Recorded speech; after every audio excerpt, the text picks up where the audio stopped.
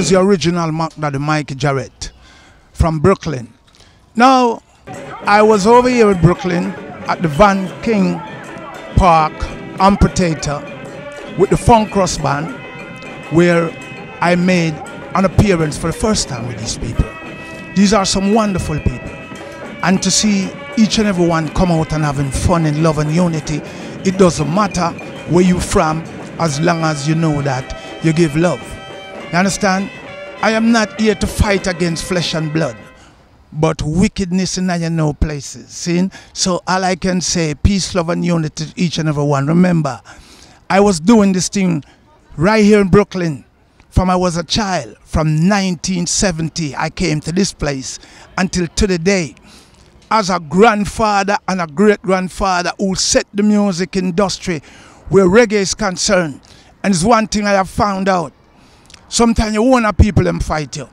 Saying and you go among some different set of people who embrace you and treat you with love. So I am not here to worry about people's sexual preference, their religious, none of that. Seeing your creed and me is just a person who deal with love and reach out to each and every one. So unity to the world. Like me say, one love can share, more love.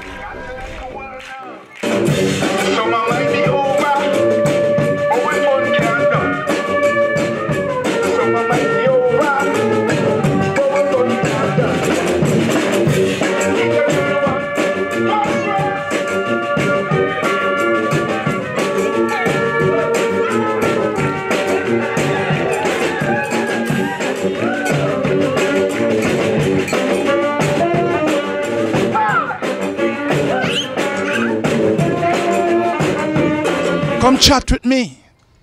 Here, there, and everywhere. This is the original Mac Daddy. Mike Jarrett said, Mac Daddy, Mac Daddy, Mac Daddy, Mac Daddy. Oh, Mac Daddy. Take it back. What that? What that? This is Mike Jarrett. Take it little more. What we say? 84?